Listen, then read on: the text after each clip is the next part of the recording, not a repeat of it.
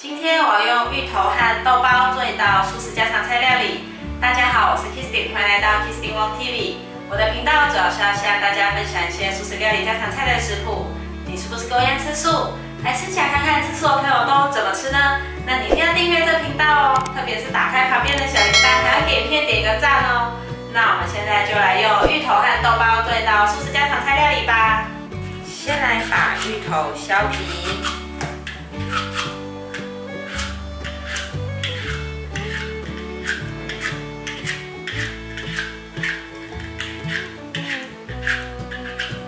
头削完皮后，这一颗的分量是八百克，今天用一半就好，大约四百克的量。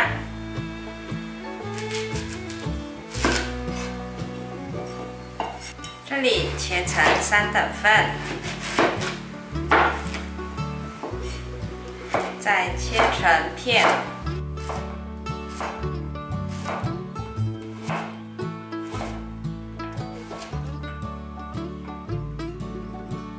半的芋头可以用保鲜膜包起来，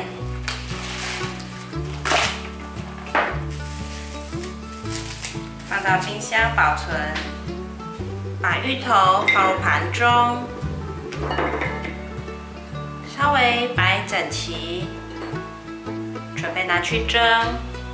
电锅内倒入两个米杯的水。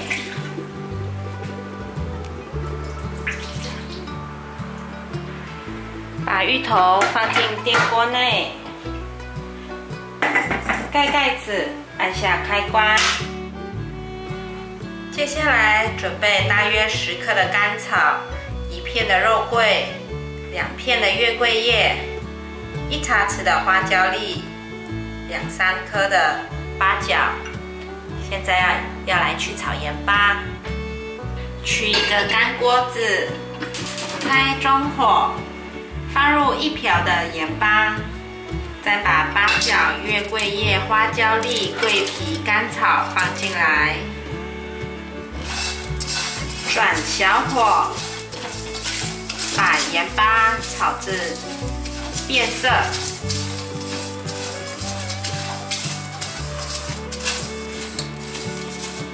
大约炒了两分钟左右，就可以闻到香味了。这时候快要好了，跟本来的盐的颜色对比有变黄了，已经好了。关火，用滤网把盐巴过滤出来，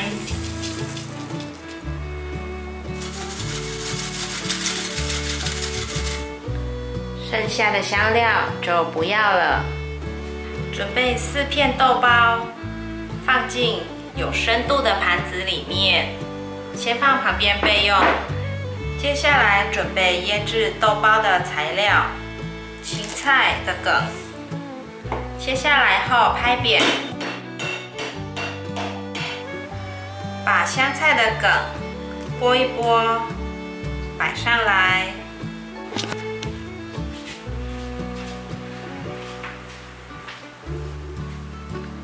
准备大约十克的姜，拍扁，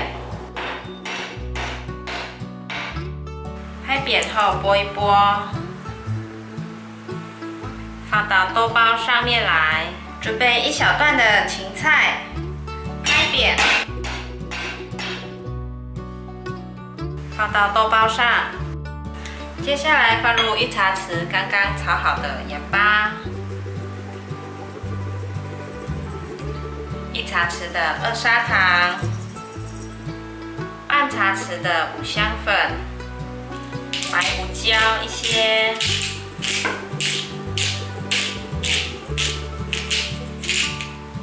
一茶匙的素蚝油，把调味料抹均匀。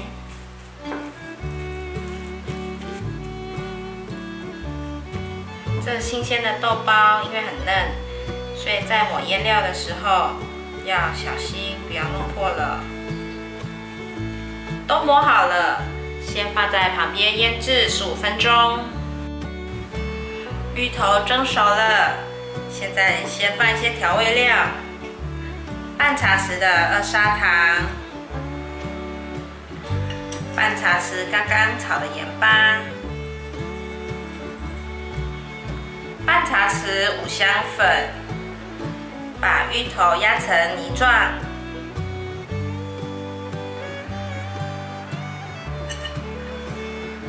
芋头泥压好了，先放旁边备用。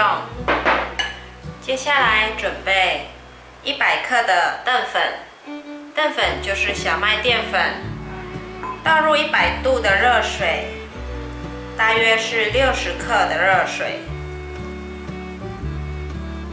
搅拌至有点成团后，可以用手搓揉。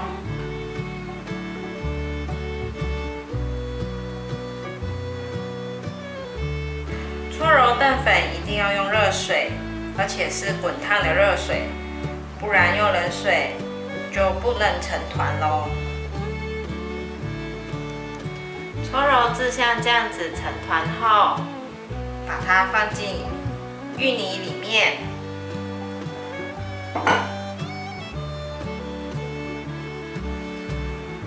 把芋泥和的面粉团搅拌均匀。搓揉成团，搓到一半的时候，像这样子还没有完全均匀，要再继续搓揉。像现在已经搓揉成团了，先取出来，把它塑形成一个一样的大小，这样子方便我们平。分成四等份，豆包已经腌好了，先取一片，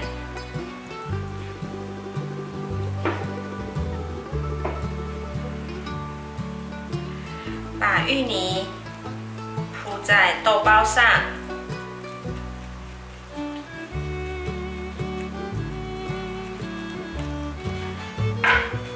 可以用刮板帮忙压成一个平均的厚度，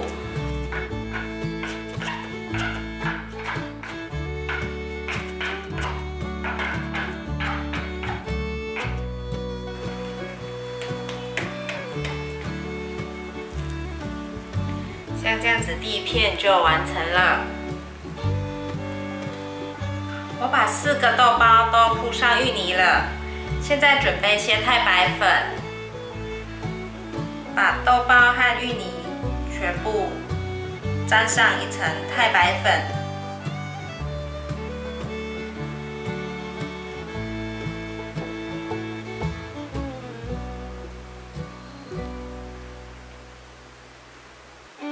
都沾上太白粉了。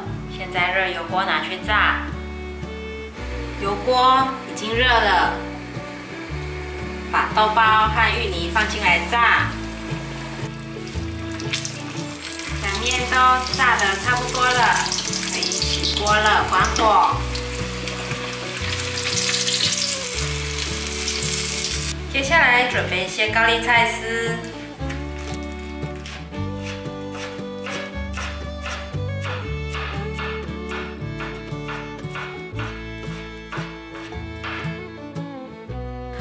高丽菜丝放入盘中，铺平，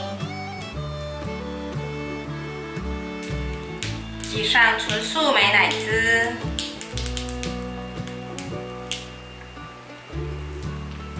撒上一些小麦胚芽粉，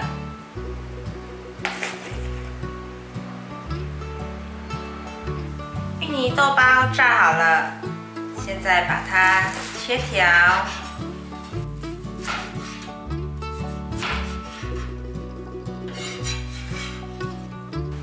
把芋泥豆包摆上来，哇！芋泥豆包排完成了。